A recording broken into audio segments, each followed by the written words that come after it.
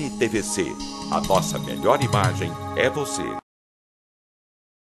Parceria entre a Prefeitura de Cruzeiro e o Governo do Estado, o programa Melhor Caminho vai realizar mais uma etapa de recuperação das estradas rurais da cidade. Seis quilômetros do trecho entre a Rufino de Almeida e a Colinas da Mantiqueira vai receber melhorias. Engenheiros da Codasp foram recebidos pela chefe do Poder Executivo para definir alguns pontos dessa nova parceria que traz benefícios para a área rural do município. É, o escoamento da produção, também o abastecimento dos insumos para as empresas rurais. E mais do que isso, a integração das, da, das pessoas que estão nessas áreas com o município. Crianças, veículos escolares, né, acesso à, à educação, à saúde.